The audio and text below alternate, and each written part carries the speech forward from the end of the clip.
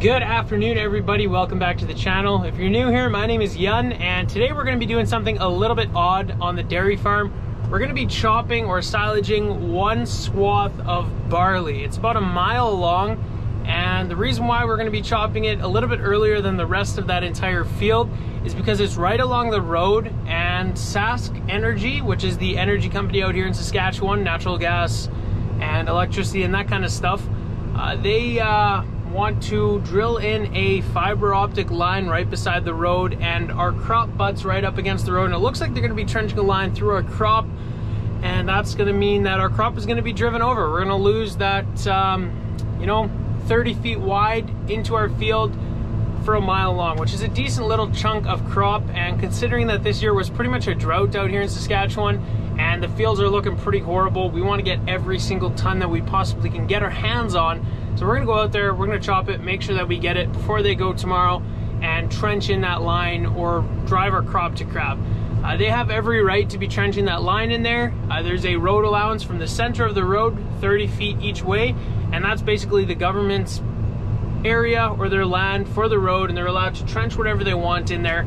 Uh, so it's kind of our fault for farming right buddy up to the road, but obviously you get more acres like that and every year it's pretty fine unless they're gonna, you know, trench a line in there. So that's what we're doing this afternoon. I'm in the swather. I'm gonna head out there here pretty shortly and start cutting down that single swath right along the road. And then we're gonna grab the chopper, which is in the shed over there, blow it into a truck, which you can see behind me. We're ready to go here, geared up. Let's get this going.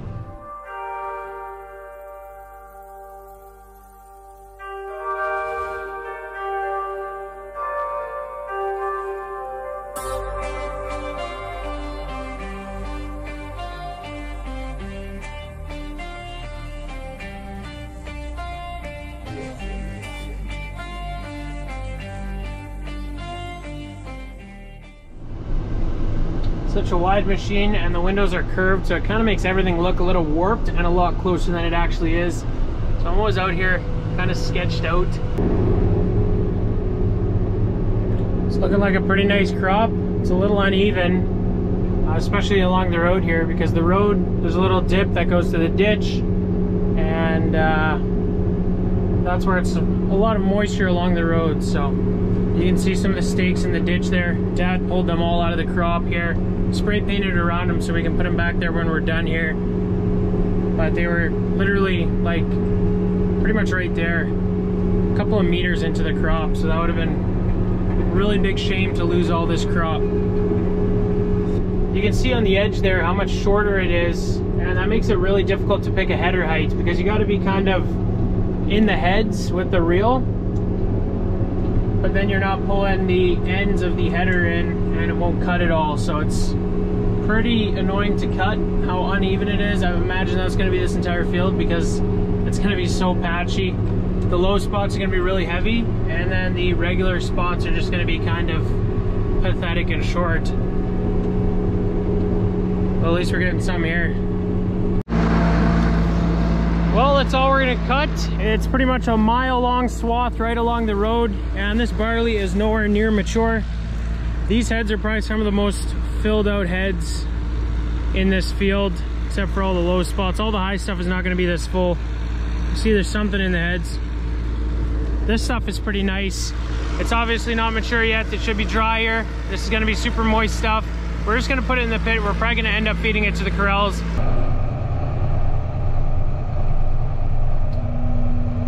Grab the chopper, heading out to the field. There we go, nicely lined up. Just waiting for the truck now. Dad's already on the road. Farm's right there, the big patch of trees. You can see him on the highway. Drop the pickup down. And see if she's good to go.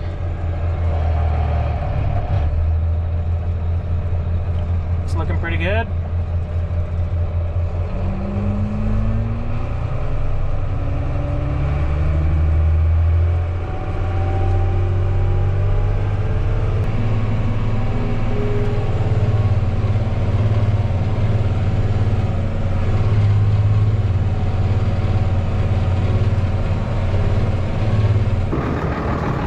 Well, there goes the first load.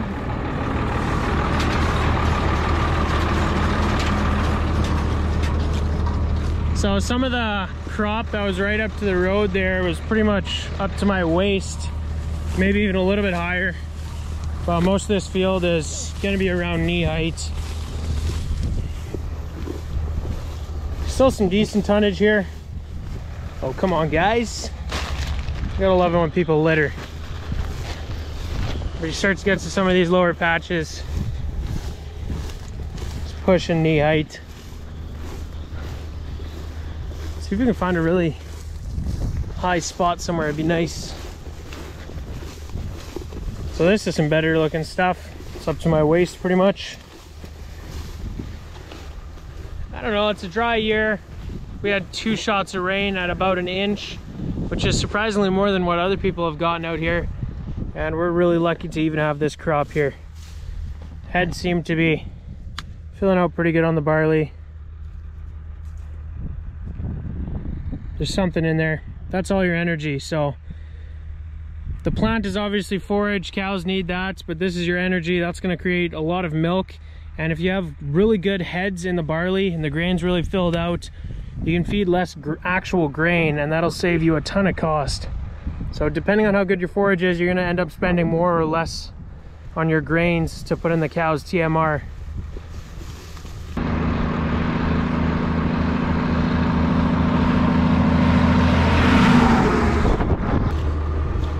Already getting the chopper dirty after one load. It's great.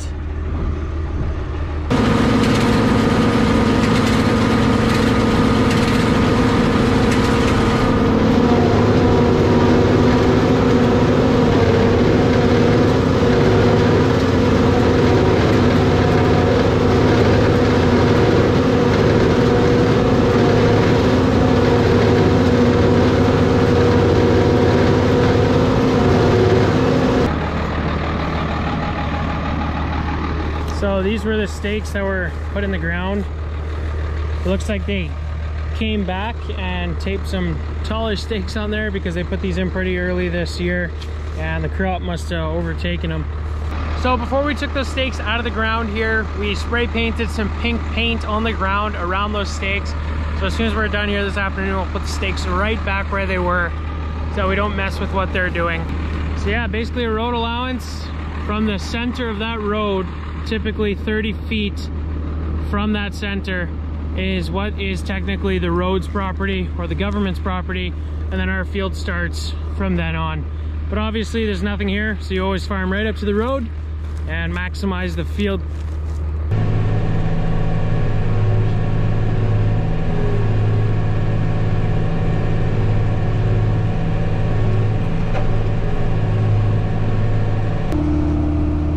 got a total of two and a half trucks. Pretty good, pretty good. I'm gonna head back to the farm and we're probably gonna pack it. We're not gonna cover the silage, just uh, feed it right away to the corrals. Shouldn't uh, matter too much. Just we're, we're not gonna feed 100% the silage. We're gonna mix it off with some good stuff, obviously, that's been in the silage pit for over a year. It's fermented properly. But this is fresh feed. Cows are gonna like the taste of this stuff, I think. Pretty cool. Right on, we got our two and a half loads there at the back of the pit. Doesn't really make a dent in this bunker. Some good looking stuff. Silage always smells the best.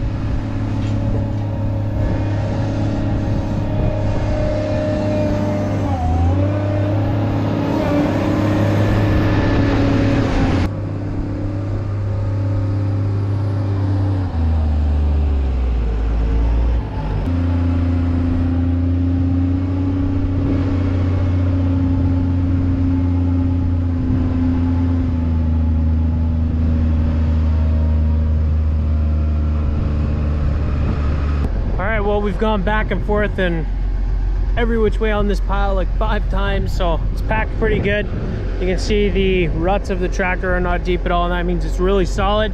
The reason why you want to pack a silage pit really good is because you want to squeeze all of the air along with all the oxygen out of the pile. There's a lot of oxygen in the pile, it's not going to ferment so good. Yeah, we're not covering this with plastic, but it's still going to probably ferment down deeper a little bit and we want to make sure it's still going to be good.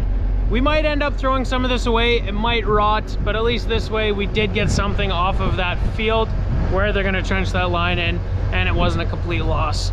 So even if we do end up for example, spreading this across the field with a manure spreader, half of it or something, it's still, you know, at least we got something out of it instead of nothing.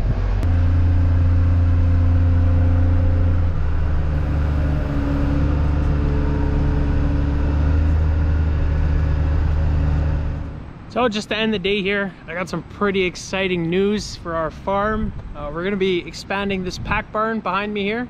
So this is the straw pack barn. It's got the center drive through and then the two packs on each side. And in the front of this barn all the way is the parlor. And that barn right there is the main freestall barn. So you guys can see the freestall barn from behind here is a lot longer than the straw pack barn. And this summer, we're gonna be building that one all the way out to be completely flush with the freestall barn, which is gonna be awesome. It's gonna give us a ton more straw pack room in that barn, which we have some pretty big plans for. Uh, we're gonna be keeping a fresh group on the one straw pack with the special needs pen. Right now it's just special needs cows. And if we have a fresh cow, we put them there for a day or two maybe, and then we have to put them back in the pack barn or the freestall barn because there's just not enough room on that pack. We gotta kick them out really quick, but we would like to keep them in a separate group for two weeks, maybe three weeks if we can, uh, just to kind of get the cows started off after they calve, give them a little bit more time to adjust to the ration and to have less stress on the cows. There won't be any head lockers in there, less resistance to get food. There'll be less competition in that group because it'll be less crowded. There'll be less animals in there and hopefully they just take off. A lot of dairy farms have a fresh group. We just don't have the room for it right now.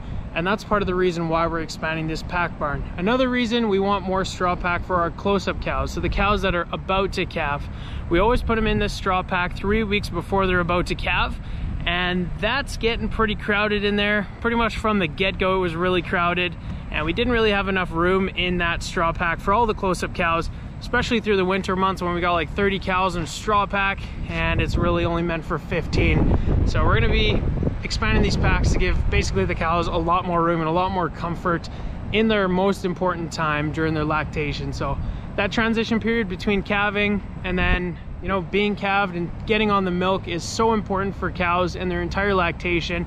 And that can really have a huge impact on how much milk they're gonna produce over the 305 day lactation. And that's why we're gonna be expanding this pack barn. I think we're gonna see some pretty cool results with this and uh, it's gonna be an awesome project for the summer. We can watch it progress and see how the construction goes. Another thing, we're gonna be keeping individual groups for the close-ups. I guess we'll jump in this barn and then I can explain it a little bit better to you guys. So yeah, special needs pack and the close-up straw pack. So this will pretty much be one group, probably from the water bowl there. And then we'll have another group and then another one after that. And we're gonna keep them separate. And every week when we bring close-up cows in, we'll bring some into group one. The next week we'll bring them into group two. And the next week we'll bring them into the third group. And the reason why we don't wanna mix up cows so much is that they don't have to reestablish the pecking order in the group every time we add cows every week. So cows are really sensitive to the pecking order. Every time you introduce new cows to a group, they want to figure out who's the boss and they are to be fighting they're to basically waste a bunch of time when they should be calm eating food and doing this the three groups is to relieve a lot of stress from the cows and it should help them out a lot when they're about to calve so that's the idea so we're at the back of the main cow barn now, the freestall barn, and this is where the slot is. The other really cool thing about this pack barn expansion is that this slot is gonna be pulled out. The barns will attach right here through this tie-in, and that slot is gonna come all the way to the back of the two alleys in that pack barn, and it's gonna tie in as one long slot so that we can scrape those alleys into this manure system back here right away. That's gonna be awesome. It's gonna be getting rid of that ugly pile of manure right there and it's just gonna be a lot more convenient. So this pack barn expansion is gonna do a lot for us. really excited. It's always fun seeing construction happen. It's a pretty big hassle, you know, they're gonna be building here. We're gonna need to feed in that center drive-through alley, put bedding in, clean the alleys out still, but it's gonna be worth the hassle once we see that end product and start to work in there. But uh, yeah, I hope you guys are looking forward to it as much as I am. So I hope to see you guys in the next video. If you enjoyed, be sure to hit those like and subscribe buttons, and thanks for watching.